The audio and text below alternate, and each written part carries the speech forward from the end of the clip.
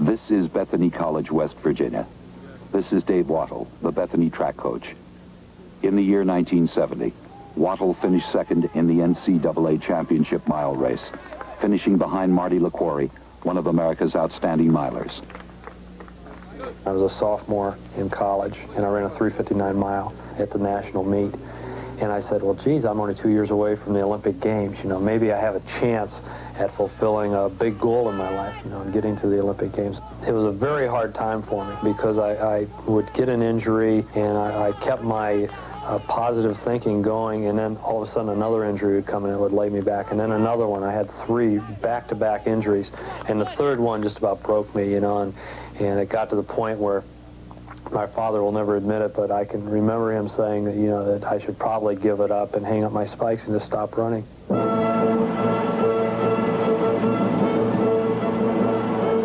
Munich, 1972, the opening day ceremonies of the Olympic Games. Marching with the United States team, 22-year-old Dave Wottle. Wottle won the 800-meter United States Olympic trials. Before the United States team was to leave for Munich, Dave Wottle again had trouble with his leg.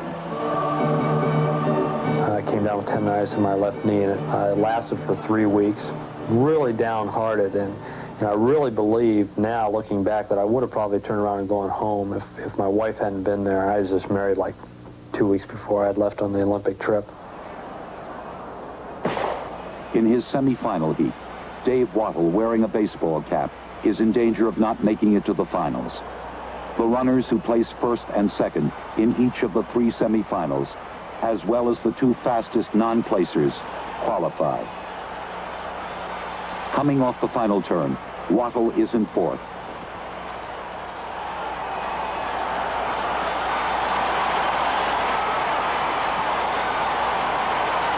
Dave Wottle wins, but his time is by far the slowest of the three semifinal winners.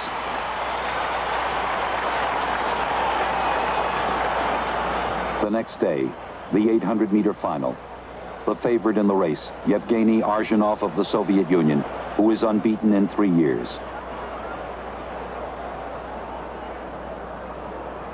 Dave Wottle is in lane three. Well, I felt uh, a little unsure, mainly because of my injury. I still went into the races a little unsure of my own capabilities. The names didn't scare me at all because I, I've always just felt, hey, you're as good as anybody. Uh, don't let them psych you out that uh, Arzhanov's undefeated in three years, heavy favored, you know. And uh, I would just discount that from my mind. All I ever really cared about was how I felt in the race. The two Kenyans in the green shorts, Mike Boit second from the right, and Robert Ouko fifth from the right are out fastest of all. Boit and Ouko have both won their qualifying and semifinal heats. Arzhanov of the Soviet Union, closest to the camera in the red shirt, trips and falls back to sixth. Dave Wottle trails in eighth place.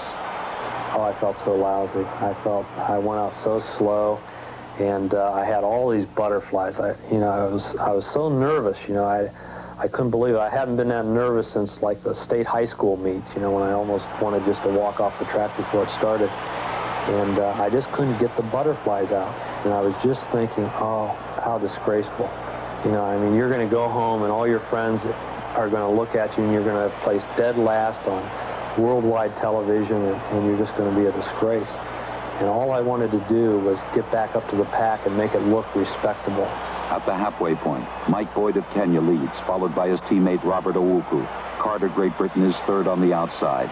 Fromm East Germany, fourth. Kupczyk, Poland, fifth. Arzhanov, Soviet Union, sixth. Kemper, West Germany, seventh. Wottle, eighth and last. Down the backstretch, Arzhanov in the red shirt makes his move.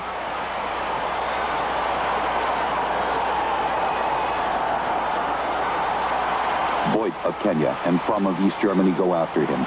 Dave Wottle has moved into sixth place. Now Robert Ouko of Kenya on the inside moves into contention. Wottle passes runners on the outside and moves into fourth. Into the stretch. There's Arzhanov, followed by the two Kenyans. Dave Wottle is coming on.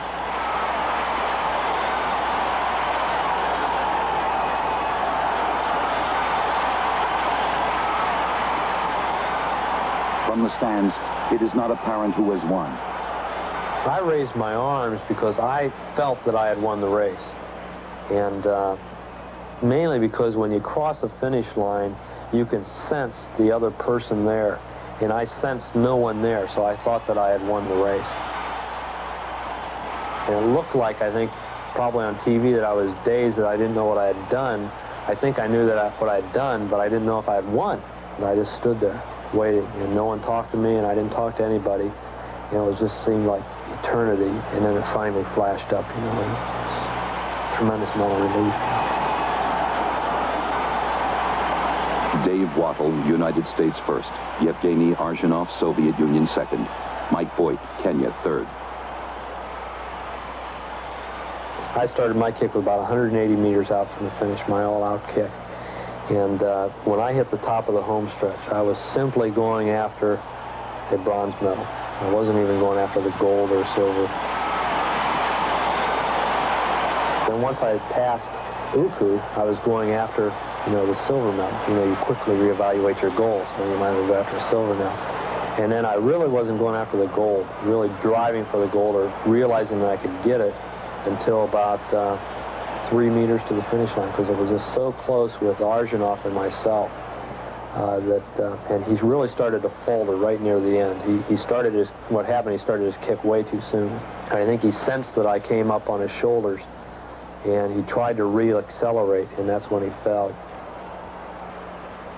Dave Wottle has given Yevgeny Arzhanov of the Soviet Union his first loss in a final in three years.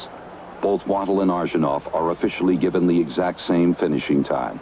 I was proud to be, you know, a citizen of the United States. I really was. I really felt that I achieved uh, what I did, or one of the things that enabled me to achieve it was the fact that I was a citizen of this country. And I was just proud of the accomplishment. You know, I couldn't believe, you know, it was the highest award you could possibly win in track and field, and you know, here I am, uh, a little hick from Canton, Ohio, and a 420 miler in high school, and I and I was able to to win the gold medal. It was just a very pleasing moment for me.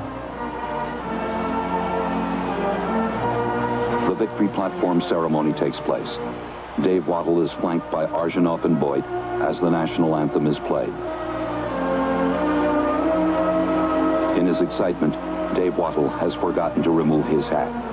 You know, I've run so many workouts in the hat, and, and I ran the race. I really didn't know it was on. It really hurt me, the fact that, uh, you know, that I left my hat on, because I didn't mean any disrespect. It's such an emotional time. You're exhausted, you just ran a race, you're feeling really good, and then all of a sudden the bombshell hits you. And that's when it really hit me, you know, hey, geez, I don't believe I did that, you know.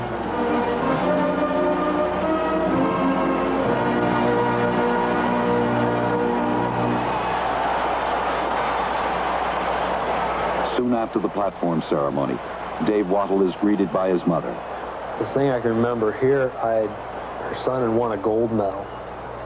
And the first thing she told me, she reminded me why I didn't take my hat off. And she says, oh, that's so terrible that you didn't take your hat off on the, on the victory stand. You know, she, she doesn't congratulate me for winning. You know, why didn't you take off your hat? Dave Wottle of the United States, the 1972 winner of the Olympic 800-meter gold medal.